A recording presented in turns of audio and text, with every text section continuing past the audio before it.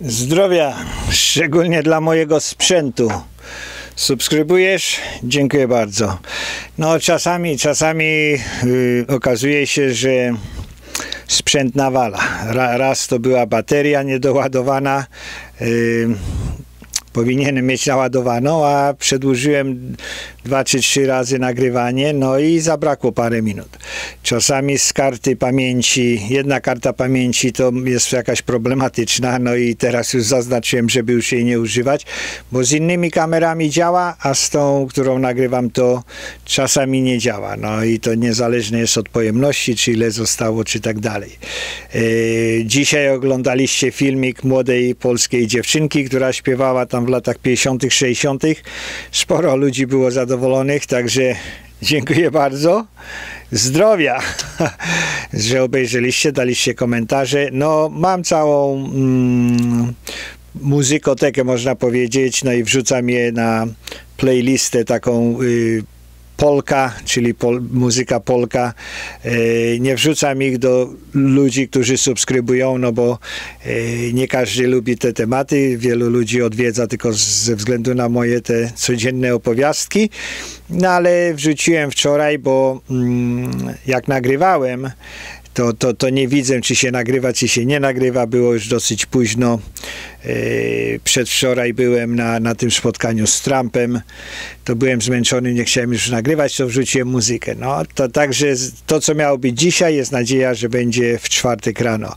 E, tak jak wspominałem, byłem na spotkaniu z Trumpem. To już drugi raz byłem na spotkaniu z Trumpem. E, cztery lata temu byłem przed Y, wyborami, y, także, że jeszcze nie był prezydentem, no a teraz ma wybory, miał, ma, są wybory w listopadzie, także on jeździ. No to miejsce New Hampshire to jest jeden z tych stanów na wschodnim wybrzeżu. To jest, to jest jedna z tych oryginalnych 13 kolonii angielskich.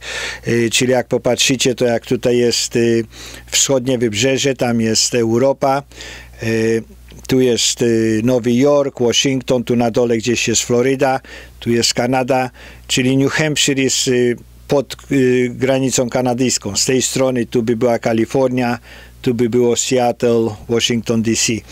No i New Hampshire. Dlaczego New Hampshire jest ważny? No New Hampshire 100 lat temu wpisało sobie do konstytucji coś takiego, że ich głosowania obywateli mają być jeden tydzień przed głosowaniem w jakimkolwiek innym stanie. Czyli oni zrobili tak, że, że oni byli pierwsi, no i później jak jakiś inny stan by powiedział, ok, my chcemy być przed nimi, no to konstytucja New Hampshire mówi, my znowu musimy być tydzień wcześniej. Także żaden nowy stan nie kombinował, żeby być pierwszy, bo jak byłby pierwszy, no to oni znowu by przeskoczyli. To, to by była taka y, y ściganie i nikt by nie wygrał. Także y, oni, oni czasami ten cały stan jest nazywany first in the nation, czyli pierwszy y, mm, w narodzie, pierwszy w kraju, można powiedzieć. Y, Iowa, Iowa to jest troszeczkę inna sprawa. Y, Iowa, żeby ominąć troszeczkę te głosowania obywateli, no to oni sobie zrobili caucus. Caucus to nie jest takie wstępne wybory, no bo to wszystkie są wybory. Oni nie zrobili wstępnych wyborów obywateli, w Iowa to oni po prostu mm, mają ileś tam tych dystryktów, tych mm, Y, okręgów wyborczych.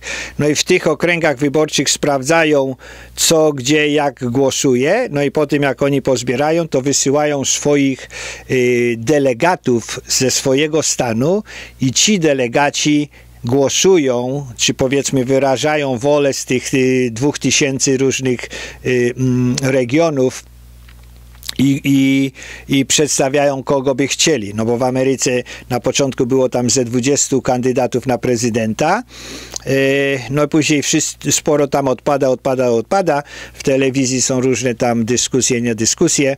No i tak, tak to się ciągnie. Także w Iowa, gdzie jest 1% całych wyborców wszystkich Ameryki, jest powiedzmy pierwszy, kiedy coś się dzieje na temat tych y, mm, kandydatów na prezydenta i to delegaci decydują, to takie zebranie partyjne, a w New Hampshire jest to, że to obywatele przychodzą, każdy obywatel tam 5 milionów i głosują powiedzmy, ale tylko na demokratów, bo republikanie nie muszą, mogą głosować, no ale w zasadzie jest tylko jeden Trump, to już tam nie ma co, co głosować na niego. Także to jest ta duża różnica. Także we wtorek Wczoraj były te wybory, wstępne wybory tego kandydata, czy głosowanie na tego y, kandydata na prezydenta, a w poniedziałek Trump był właśnie w New Hampshire, żeby podnieść tą, tą atmosferę i powiedzieć dużo tych demokratów, żeby y, jeżeli są przeciwko skrobankom, jeżeli są za, za mm, posiadaniem broni, jeżeli są przeciwko nielegalnej emigracji, jeżeli są przeciwko socjalizmowi jako takiemu, to niech rzucą w cholerę y, partię socjalistów, demokratów i w zasadzie przejdą do, do konserwatywnych republikanów. No i teraz, teraz właśnie cały temat y, dzisiejszej opowiastki. Demokraci nie potrzebują w zasadzie y, prezydenta, oni potrzebują proroka. Dlaczego potrzebują proroka? No oni, oni z, stali się bardzo religijni bez Boga, bo większość demokratów, socjalistów, no to są ateiści, agnostycy i tak dalej. Oni nienawidzą organizacji czy instytucji kościelnych, plują na to, każą usuwać y, z najróżniejszych miejsc, powiedzmy choinki, dziesięć przykazań, imię Boga i tak dalej, i tak dalej. No, y, w Ameryce, w historii amerykańskiej jest bardzo wbudowany ten, ten Bóg jako taki, chrześcijaństwo jakie takie, no ale ci wszyscy socjaliści uwielbiają muzułmanizm muzułmanizm jest wspaniały, chrześcijaństwo jest y, y, no i, i oni mają te takie dogmatyczne y, mm, wierzenia, które w zasadzie żadna logika czy, czy mm, jakiekolwiek doświadczenie ludzkie czy dowody nie mają znaczenia dla nich. Dla nich oni po prostu jak się ustawią, to wiedzą lepiej. Szczególnie powiedzmy o środowisku. Środowisko to jest dzisiaj taka nowa Biblia, takie nowe przekonanie. No widać to na przykładzie tej Grety Thunberg, y, ona, ona jest nieszczęśliwa, no bo ona by była w zasadzie, jest troszeczkę tam, można powiedzieć, psychiatrycznie jest, są pewne określenia dla, dla niej, no i ona się zawzięła socjaliści ją wypychają na, na świecznik, ona, ona robi to, to, to co robi.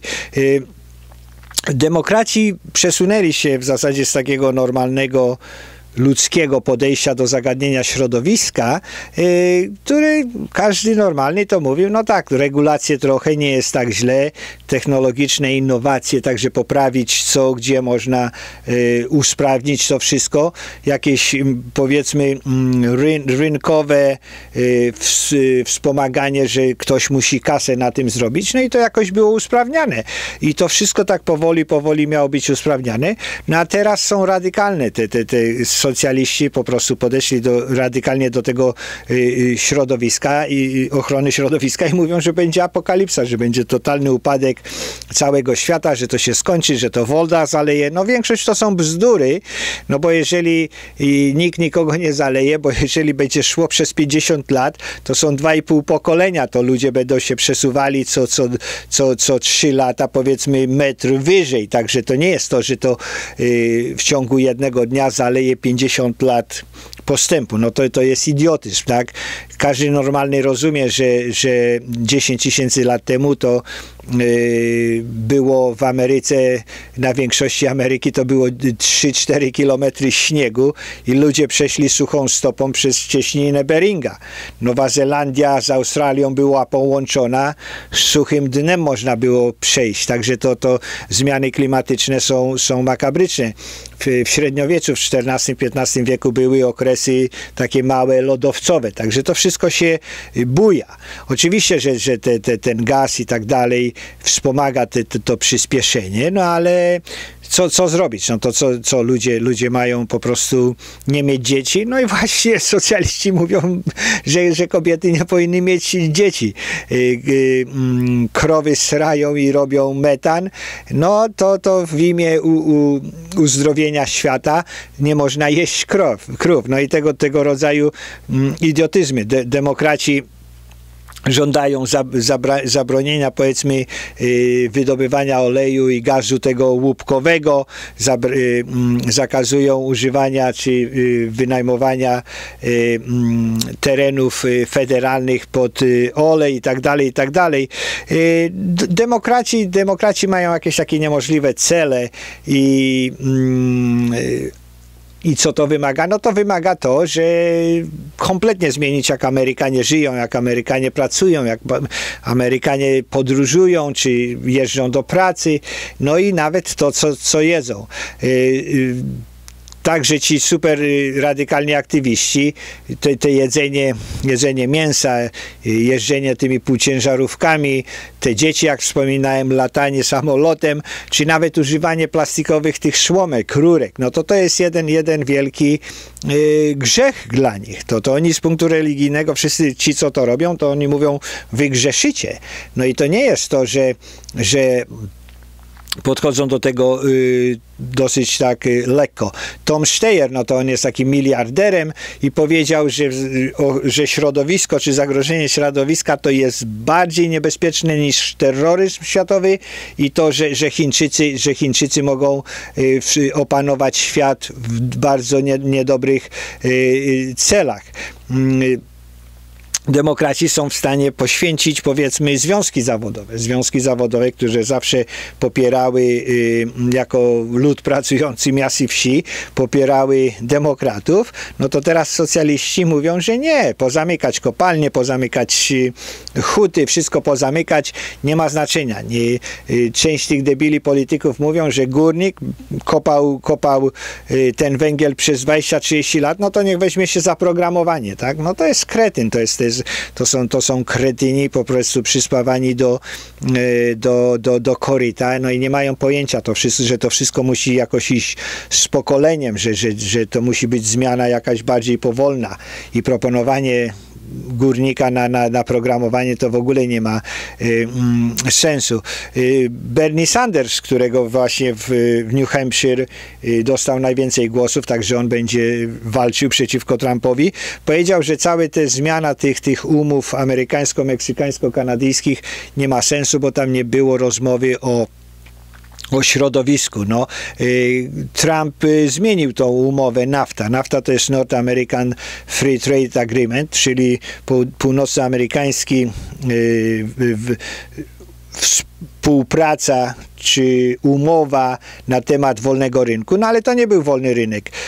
Meksyk zabrał 80% Y, produkcji takiej masowej z Ameryki, a później Chiny zabrały 80% z Meksyku. No i Ameryka została w zasadzie, nie produkuje nic, wszystko, wszystko zostało ukradzione. No i ten kretyn mówi, że, że nie można tego zmieniać, jeżeli tam nic nikt nie mówi y, o środowisku. No, y, w partii przepraszam, w partii demokratycznej right right now na razie na dzień dzisiejszy no to nie ma nikogo tak pośrodku, nie ma, nie ma tych, tych, tych ludzi mm, centrowo, centrowych. Y, mm, y, nie istnieją w wizji demokratów ludzie, którzy mogą być jakoś tak pośrodku.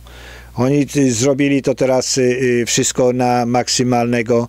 Mm, druga sprawa to demokraci przeszli w do ekstremy lewackiej na temat skrobanek. Clinton w 1992 roku powiedział, że skrobanki powinny być, y, y, mieć trzy y, sprawy. Powinny być bezpieczne, powinny być legalne i powinny być rzadkie.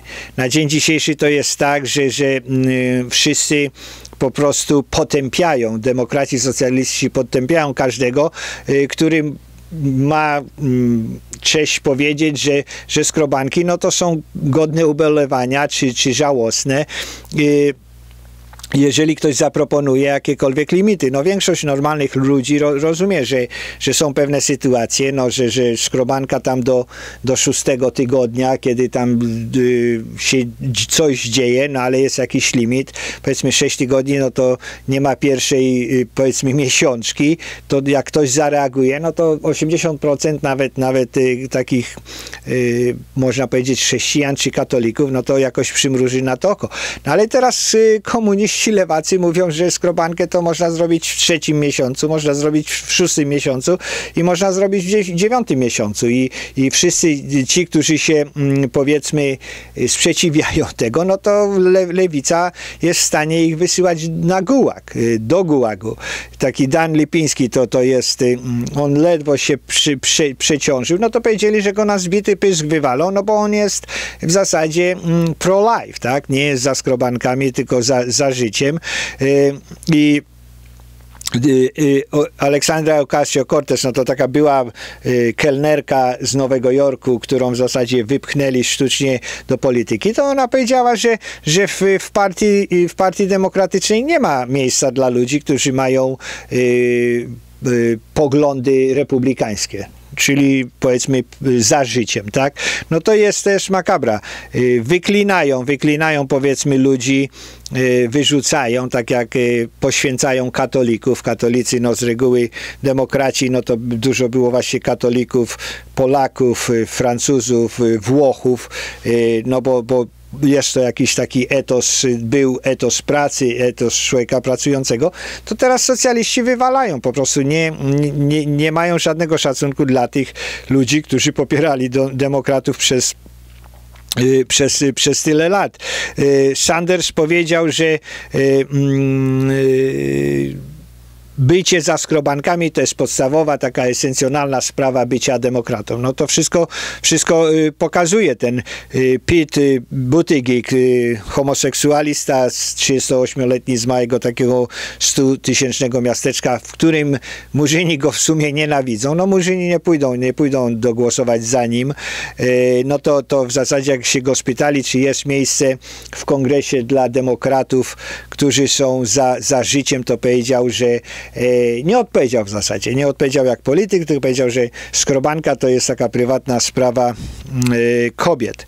E, były takie czasy, kiedy centrowi, centrum takie, takie republikanie, demokraci jakoś się y, y, schodzili razem, także potrafili, potrafili jakoś się dogadać. Było, była taka umowa, że y, na temat organizacji katolickich, że nie można, nie mo, że oni mogą sobie pozwolić na to, jeżeli jest to wbrew religii, no to mogą sprzeciwiać się skrobanką. Na dzień dzisiejszy lewactwo chce zamykać wszystkie organizacje katolickie, kościelne, które nie pomagają homoseksualistom, które nie pomagają skrobankom, to w zasadzie to mają być zamykane państwowo. Państwowo pod karą groźby są zamykane. No i są zamykane. Trump y, odhaczył tam, czy od, w zasadzie zmienił decyzję.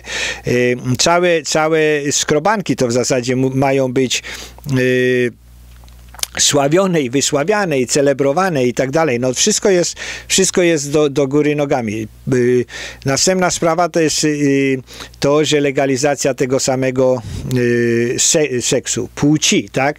10-15 lat temu dużo kobiet mówiło, no jak faceci się kochają, no to niech, niech się pobiorą, nic z tym złego nie jest. No jest dużo złego, no bo teraz doszło do tego, że, że w zasadzie to już teraz y, transwestyci y, zabierają największą tragedią w sporcie, to jest to, że transwestyci, czyli faceci, którzy sobie amputowali albo nawet nie i są na y, damskich, żeńskich powiedzmy hormonach y, walczą z prawdziwymi kobietami, no i kobiety przegrywają, tak, także y, wściekłe feministki krzyczały, że y, faceci i, i, kobiety są tacy sami, no i doprowadzili do tego, że teraz y, facet jest taki sam y, w zawodach z kobietami kobiety nie mają co, co zrobić. Demokraci ogólnie, ogólnie nie mają, nie mają y, y, szacunku dla, dla nikogo. Powiedzmy Martina Nawratilowa, ona powiedziała, że właśnie te, te sportowe y, transwestyci walczący z kobietami, no to jest, jest makabra. No ona też była tak y, połowicznie y, można powiedzieć, dosyć męska tam. No to, to taka ironia losu. Zdrowia, subskrybujesz, dziękuję bardzo. Nie subskrybujesz, też dziękuję bardzo, serdecznie zapraszam. Tu można subskrybować. Yy, yy, dzwoneczek dzin, dzin o codziennych powiadomieniach i do następnego codziennego filmiku.